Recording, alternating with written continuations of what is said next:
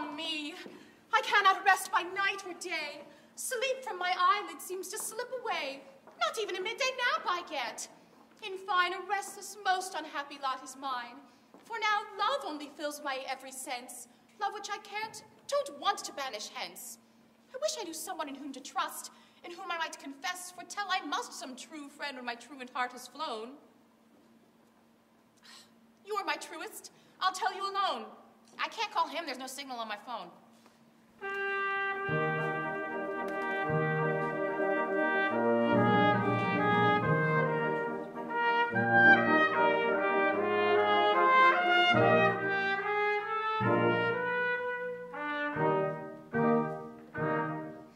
Wouldst know the thoughts by which my soul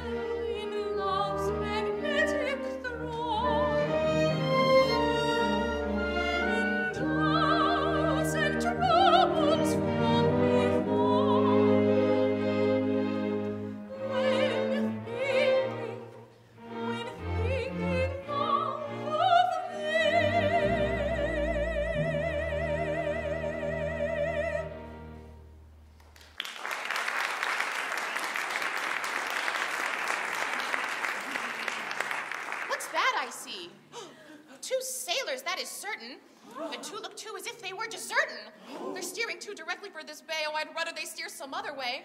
They're firing at them. Gracious, how they pull it. Their stocks are down. Their guns begin to bullet. Oh! Shiverma timbers, miss, we're in a fix. Because from the bark there, we've just cut our sticks. Cut sticks from bark, but why? They starved us quite. No meat, no bread, no cheese, no not a mite. We've lived for six weeks, miss, upon hope. Not a bit of food, not a bite of rope. Cheer up, for tonight I'll tell a different tale. I will be your Florence Nightingale. Feed and conceal you. Thank you, miss. Don't speak. I know just what you're saying. I might suggest concealment and your cheek, but go in. I fear I'm doing wrong, but harrowing deeds to heroines belong.